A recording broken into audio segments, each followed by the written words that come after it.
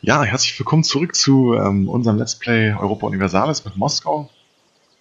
Ähm, wir waren jetzt in der letzten Folge äh, mit den Kriegsvorbereitungen beschäftigt und ähm, der Waffenstillstand oder die Waffenruhe ist ja mit Novgorod jetzt abgelaufen und wir werden jetzt den Krieg erklären. Kriegsziel ist der Eroberung von Novgorod und Polen wird nicht beitreten, brauchen wir auch gar nicht. Und Feuer. Und dann werden wir die versuchen, hier natürlich gleich möglichst zu zerschlagen. Ähm, was kostet eigentlich die gesamte... So, ähm, ich habe gerade keinen Diplomaten. So. Ich hoffe natürlich, dass ich die jetzt in einem Rutsch auch annektieren kann. Ähm, oh, wir haben gewonnen. Wir haben ja ein Schiff vernichtet. Sehr gut. Aber eigentlich sollten die ja im Krieg... Achso, machen sie auch im Krieg heimkehren. Und es sieht so aus, als würden wir hier die Armee fast komplett zerschlagen können. Nicht ganz gereicht. Ich werde mal gucken, was ich meinen ähm, Verbündeten, meinen Vasallen für Anweisungen gegeben habe. Ja, wunderbar. Genau, die sollen Provinzen belagern, selbstständig.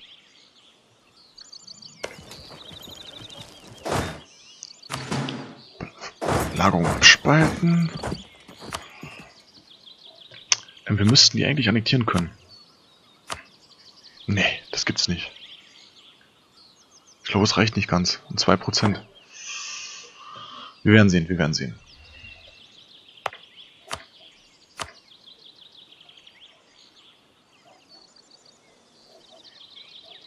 Oh, ist ja bitter.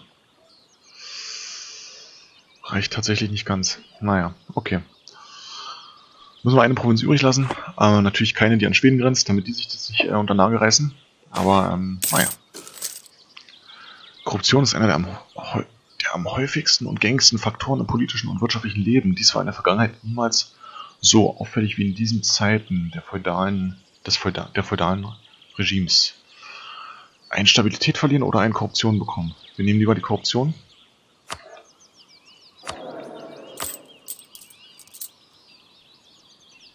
Ähm das können wir aber sogar ein bisschen ver verringern hier.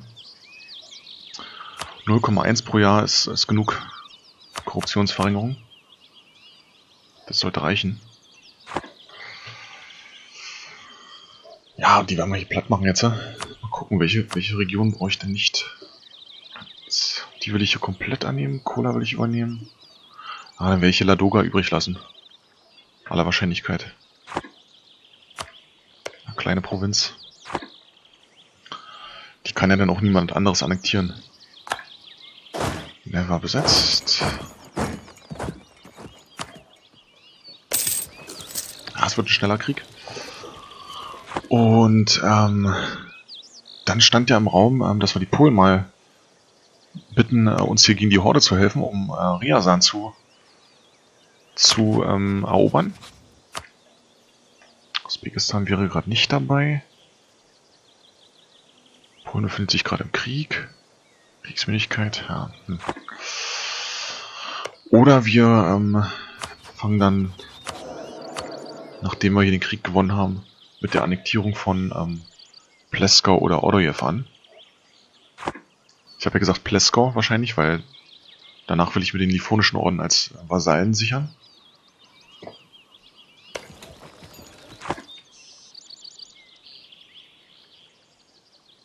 Deswegen hatte ich ja auch in der letzten Folge so ein bisschen ähm, Aushebungen angeordnet.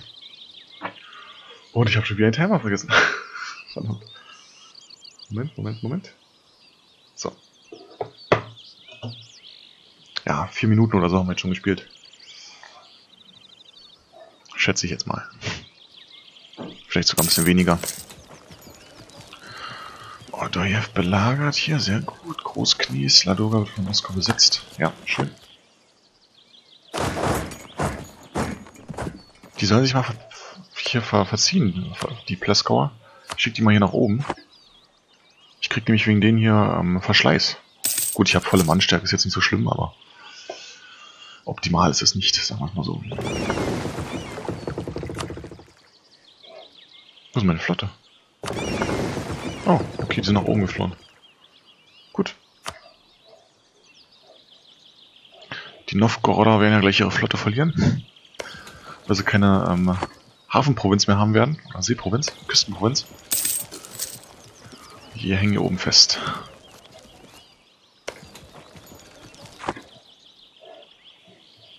Kasan. Sibir. Haben wir hier noch irgendwie einen Anspruch auf die? Ich werde hier mal ein Spionagenetzwerk aufbauen. Vielleicht bekommen wir ja auch die Chance, Kasan äh, noch zum Vasallen zu machen.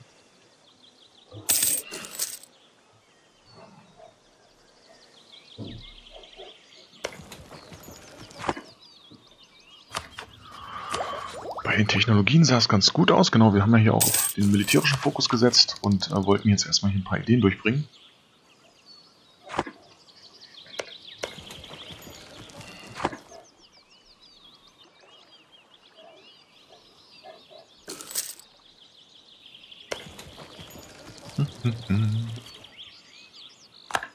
So, und dann können wir hier auch schon in die Friedensverhandlungen gehen. Ähm Doch. Nee. Doch, kann ich komplett annektieren. Wunderbar. Toll. Aber wir brauchen noch ein bisschen Warscore. Ähm, ja, wir werden jetzt aber keine Truppen mehr in den Kampf schicken. Wir werden einfach das jetzt ein bisschen runterticken lassen. Also ähm, die Kriegsmüdigkeit wird sich ja ganz schnell erhöhen jetzt, weil die komplett besetzt sind. Ähm, ich will jetzt da nicht unnötig Mannstärke verheizen, das wäre schade. Und diese Festung hier kann ich schon abreißen. Die wird nicht mehr von Bedeutung sein. Ich habe jetzt hier auch noch eine Festung in Novgorod. Die kommt weg. Da sparen wir uns ein bisschen Geld und wir können hier gleich wieder mal die ganzen Festungen äh, sofort wieder stilllegen. Drei Festungen haben wir bloß. Ja, Novgorod kommt ja gleich noch dazu.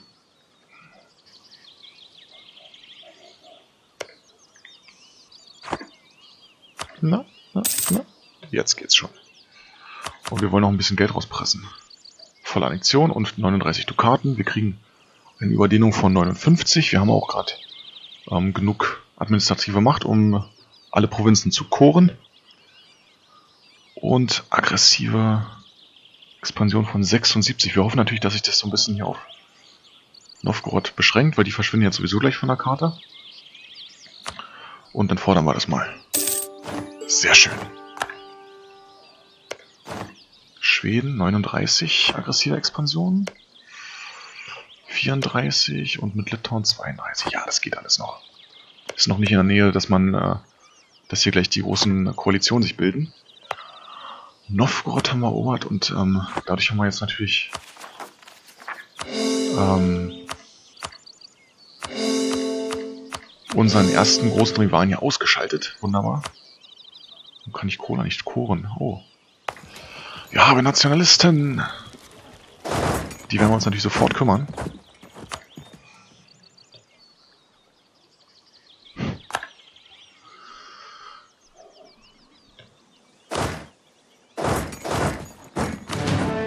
Versuchen sofort zu vernichten. Eigentlich müssten das ja samische Nationalisten sein, ne? Ist ja hier. Naja. Und wir hoffen natürlich, ähm, dass wir potenzielle Aufstände ähm, niederschlagen können und wir wollen denen ja hier keine weitere Autonomie, Autonomie gewähren. Das wäre schade. Das läuft, das läuft, das läuft. Sehr gut. Okay. Und jetzt darf ich hier nicht gleich den Zeitpunkt verpassen. Wenn der Modifikator abläuft. 1. Dezember 65. Mat abrufen. Das ist Brandenburg.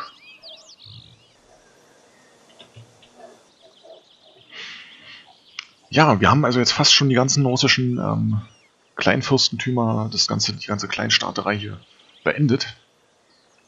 Und alles in einem äh, ostslawischen Reich sozusagen vereint. Das da heißt Moskau. Es läuft sehr gut. Läuft sehr gut. Und wir haben einen neuen Nachbarn, Schweden. Und die würde ich gerne bei ihrer Unabhängigkeit unterstützen und als äh, Verbündete gewinnen.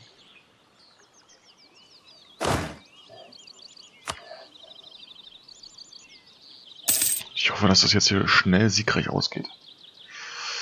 Gut aus, sieht gut aus. Ja, aber schön.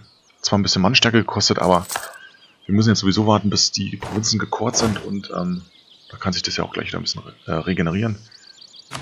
Belagerung abspalten. Zurück nach Novgorod. Hier geht zurück nach Moskau.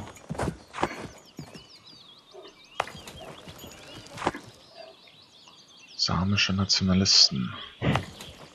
Perfekt. So, es ist der 1. Dezember. Und der ist noch nicht weg. Der Modifikator. Sauerei. Mal kurz warten bis zum 1. Januar.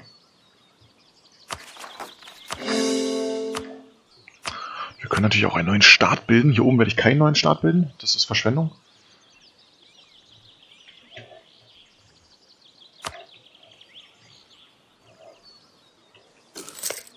Sind die noch im Krieg hier? Ja.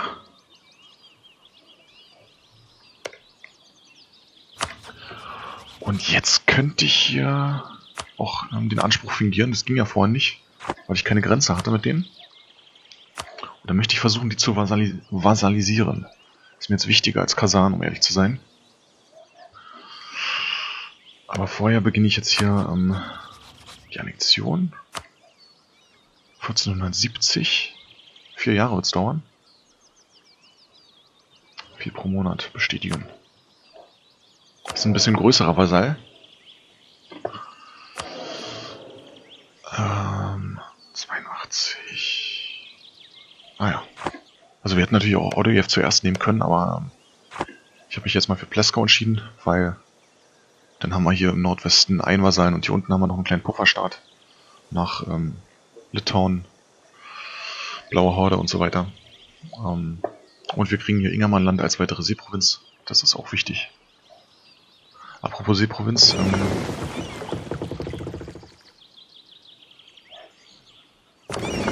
ich wollte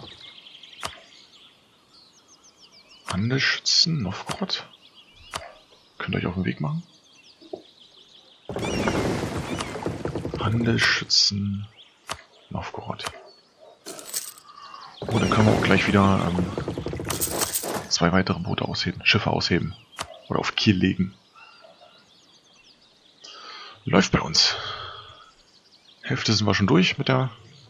Und wir haben hier gerade äh, schon wieder Novgor novgoridische Nationalisten. Wie viel können die dann aufbringen? 32.000 Mann, das ist zu viel. Das ist definitiv zu viel.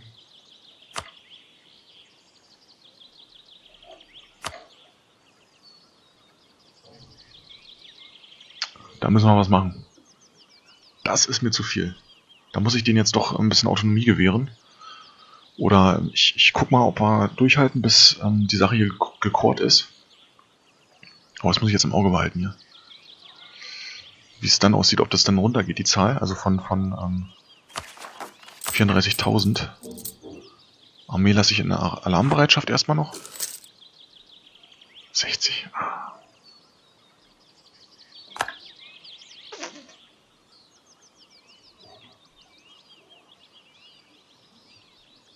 Kohle als ihren Besitz zu beanspruchen. Die Schweden.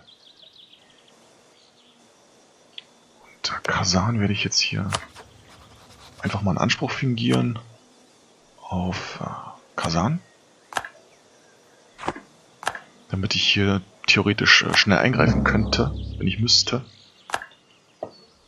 Einen Moment, ich mache mal kurz meine Tür zu.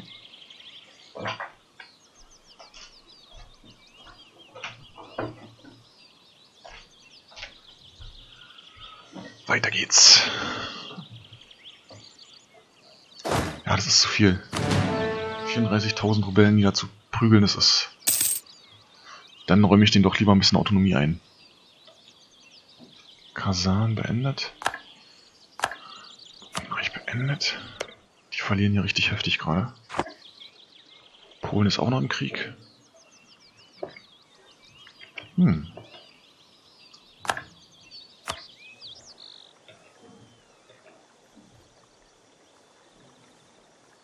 Ah ja, die haben die wieder von der Mark zum Vasallen gemacht. Wollen sie wahrscheinlich jetzt doch annektieren, denke ich mal. Und Kasan hat richtig abgekackt hier. Was gar nicht so schlecht ist, weil jetzt können wir die ganz leicht zum Vasallen machen. Könnten wir, wenn wir... Ja, ist jetzt die Frage. Holen wir uns jetzt erst äh, den Niphonischen Orden oder ähm, Kasan? Ähm, ich glaube, ich gehe doch auf Kasan, weil ähm, ich will ja dann, wenn die hier Frieden geschlossen haben, ähm, gegen die blaue, blaue Horde gehen. Dann will ich mir die zwei russischen Provinzen holen und kann dann meinem ähm, Vasallen sozusagen hier noch mit ein paar Provinzen füttern. Das wäre also gar nicht so schlecht. Aber erst muss ich mich hier um die Revolte kümmern. Die sind ja jetzt auch gerade ganz stark geschwächt. Ja, genau, das ist logisch. Das ist eine gute Idee. Gehe ich erstmal jetzt hier ein bisschen nach Osten. Habe ich auch einen äh, muslimischen Vasallen oder islamischen Vasallen.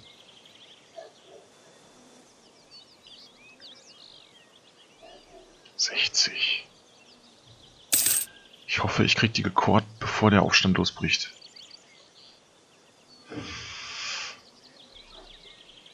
Achtzig sind wir jetzt gleich, sehr gut. Der Adel fordert Privilegien. Unruhen global können wir überhaupt nicht gebrauchen. Wir verlieren lieber das Prestige, da haben wir auch gerade genug von. Und wir haben noch unsere Mission erfüllt, oder? In Germanland. Ah, okay. Naja, okay. Die werden ja gerade ähm, annektiert.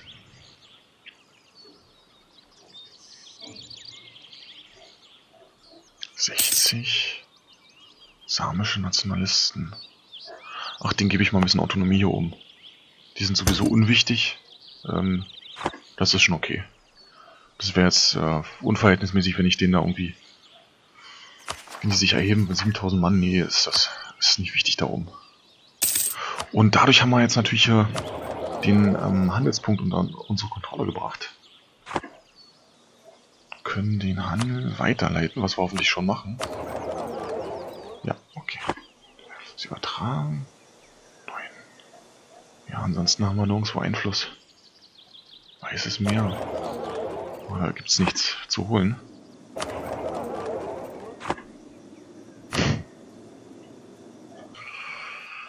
jetzt die Frage, ob ich, wenn ich da abschöpfe, mehr davon habe, als wenn ich unten weiterleite. 4. Wird, wird weitergeleitet. Wahrscheinlich hier von, von den skandinavischen Nationen.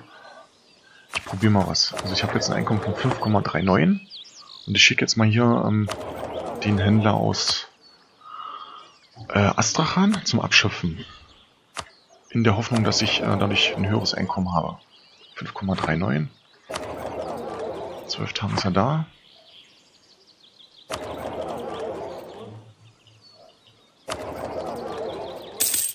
Ja, ein bisschen. Hat sich tatsächlich ein bisschen gelohnt. Und ähm, dadurch wird auch weniger hier an die Skandinavier weitergeleitet. Sehr gut. Korin ist durch, sehr gut ist die Frage. Jetzt sind es bloß noch 26.000. Das könnte ich, glaube ich, hinbekommen. Ähm und ich hole mir hier erstmal Gefreiter zum Marschall. Kampfstärke der Infanterie. Das begünstigt natürlich jetzt auch das Niederschlagen der, der ähm, Revolte. Großknies, eine neue Ideengruppe. Blablabla. Gefreiter zum Marschall. Im Grunde genommen hat jeder Gefreiter einen Marschallstab im Gepäck. Natürlich nicht wörtlich genommen. Doch wer sich in der Schlacht auszeichnen kann, den erwarten Ehrungen und Beförderungen. Die, Truppen, die Truppe weiß das und wird von diesem Wissen inspiriert. Kampfstärke der Infanterie plus 10%. Sehr gut. Und der Deutsche Orden würde gerne unsere Truppen anwerben. Das werden wir nicht machen. Aber wir werden mal hier unsere Truppen nach Norden bewegen, um dann äh, jetzt gleich den den Aufstand der novgoritischen Rebellen niederschlagen zu können. Wir äh, riskieren es jetzt einfach mal.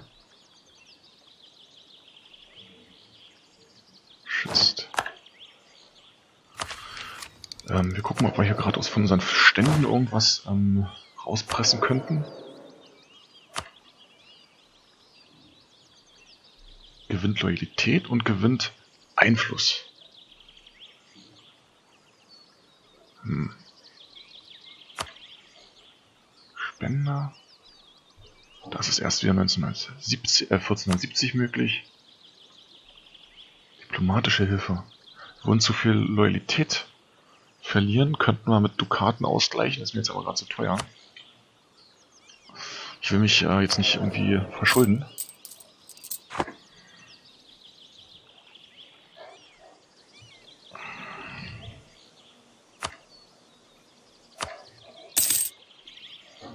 Das heißt, wenn wir jetzt Kasan als ähm, Vasallen nehmen, können wir wieder kein Bündnis eingehen mit irgendjemand ähm, anderem, aber das ist egal. Also hier im Westen vor allem, darum geht es mir.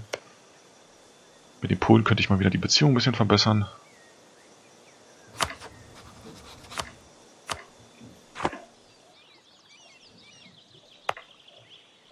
So, und hier ist der Nationalismus schon stark gesunken. Das ist natürlich auch sehr gut.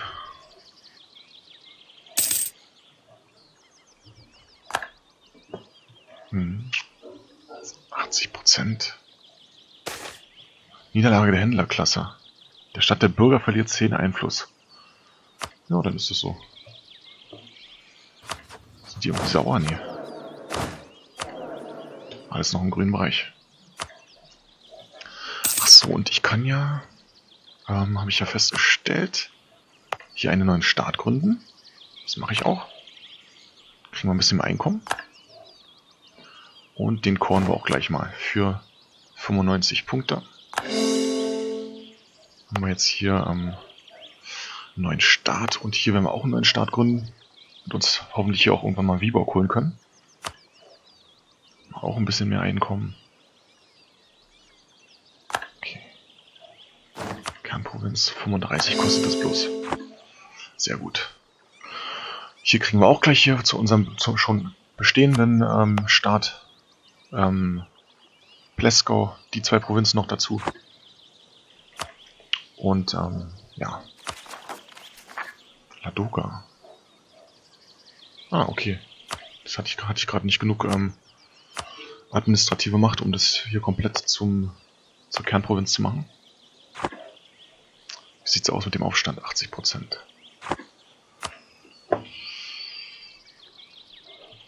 Und unsere Rekrutenreserve nähert sich den 40.000 an. Ist auch nie unwichtig, dass die mal ein bisschen wächst. Staatsee aus Polen. Die haben hier gerade gewonnen, die Schlacht. Ich nehme die Staatsee jetzt mal an. Das wird unsere Beziehungen verbessern. Die Chancen erhöhen, dass sie uns in, in einem Krieg ähm, beistehen. Phonischer Orden kann ich jetzt auch einen Anspruch fingieren auf Narva. Yep. Können wir die auch abberufen? Habe ich jetzt so die richtigen gerade geklickt? Ja. Berufen. Ja.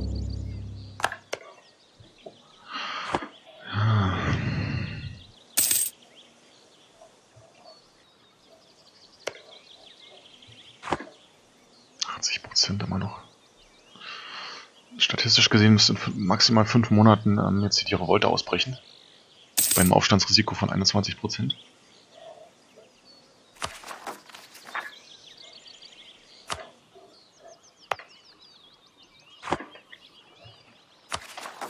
Jetzt sind es bloß noch 24.000. Sehr gut. Sehr gut, sehr gut, sehr gut. Never.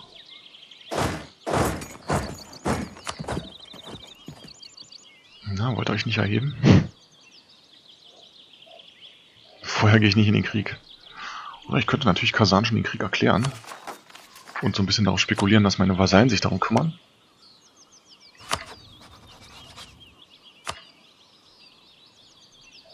Sibir.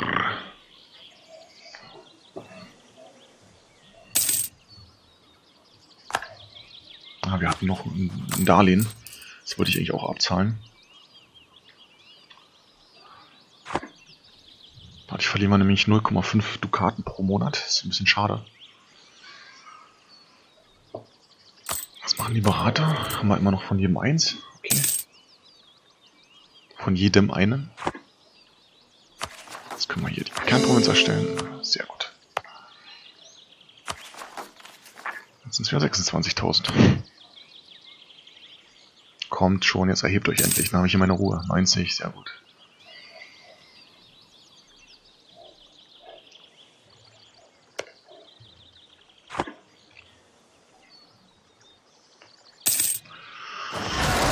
Ja, jetzt geht's los. Wir müssen hier sofort die Verstärkung reinschmeißen. Oh, oh, die kommt zu spät. Nee, es reicht noch. Sehr gut. Oh, wo ist den Sieg noch? Ja! Hat zwar mächtig Manpower gekostet damals. Das ist okay. Damit kann ich leben. So. Und jetzt können wir uns hier Kasan zuwenden und einen neuen unseren äh, Einfluss hier weiter Richtung Asien ausdehnen. Als, ähm, wie gesagt, wir werden dann die Blaue Horde den Krieg erklären, um hier die russischen Provinzen zu erobern und gleichzeitig können wir dann unseren ähm, zukünftigen Vasallen Kasan, das sage ich jetzt einfach mal so, dass es eintreten wird, hier ein bisschen ähm, Provinzen füttern. Mit Provinzen füttern. Und wir haben wieder es geschafft, denen hier keine Autonomie zu, zu, zu, zuzugestehen. Ist auch gut. gerade, ob ich... Warum habe ich eigentlich so hohe Ausgaben gerade? Ah, okay. 20 durch... Durch ähm, Verstärkung.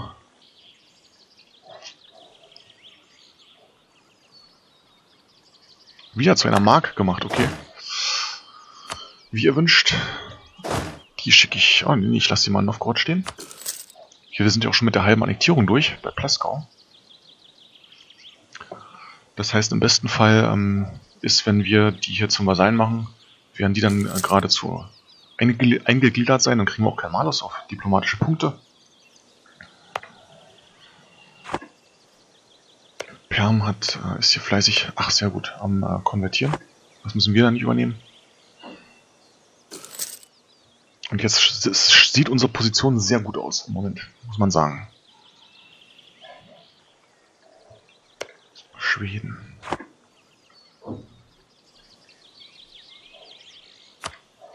Verlieren hier, glaube ich, auch gleich unsere Ansprüche. Bis 72. Bis 71. Hm. Wenn wir nicht vorher noch in den Krieg gehen können. Krim und Usbekistan. Ja, wenn wir Polen und Litauen dafür gewinnen können, dann äh, ist das überhaupt kein Ding. Aber wie gesagt, wir müssen erstmal Dafür müssen wir jetzt erstmal ähm, Kasan erobern.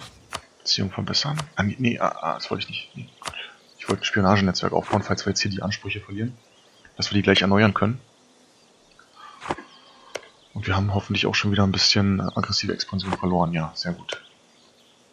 Schon wieder unter 30. Das habe ich gut im Griff im Moment. So, und die können jetzt angreifen. Diplomatie, Krieg erklären, Eroberung von Kasan. Sibir wird auch beitreten, aber ich glaube, die sind nicht so stark.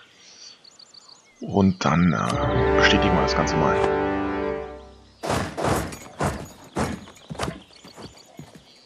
Ah, die kommen weg jetzt, schade. Festungen haben sich ähm, aktiviert. Novgorod kann ich stilllegen und Luki kann ich auch stilllegen.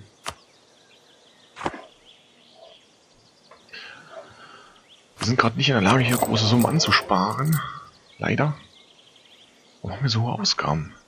Söldner kosten auch relativ viel. Muss ich nochmal überdenken, ob ich die dann behalten möchte. Ich habe jetzt doch noch relativ hohe maximale ähm, maximale Rekrutenreserve. Brauche ich vielleicht doch keine Söldner mehr. Und die Eroberung Kasans äh, wird sich natürlich auch positiv darauf auswirken. Wir verlieren lieber Prestige, wie immer. Ich ziehe nach als Charlie. Wir wollen keinen neuen Staat gründen. Das würde sich nicht lohnen. Moment. Ich will dann lieber hier unten noch ein paar Staaten gründen. Weil äh, wir können es ja auch nicht unendlich machen. Wir haben ja bloß, bloß noch äh, drei Staaten, die wir gründen können.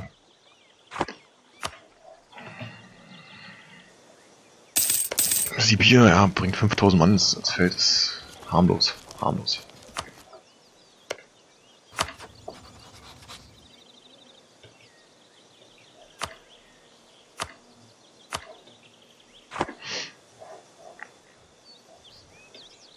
Und hier sind die auch schon, okay. Perm ist fleißig am Belagern.